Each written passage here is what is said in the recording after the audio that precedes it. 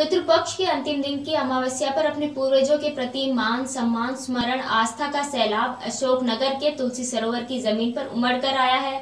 दरअसल पंडित प्रदीप मिश्रा द्वारा 19 सितंबर से 25 सितंबर तक स्थानीय कृषि उपज मंडी में श्राद्ध पक्ष के दौरान तर्पण शिव महापुराण कथा का श्रवण किया गया।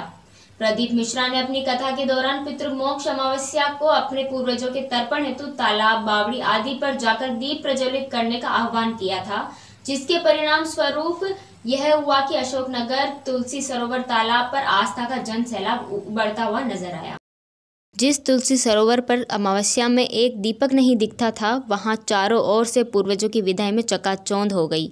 अशोकनगर की जनता ने भगवान भोलेनाथ का स्मरण किया। अशोकनगर ज़िले की शिवमय जनता ने कथा को बड़े ही ध्यान से सुना और इसका अनुसरण भी किया।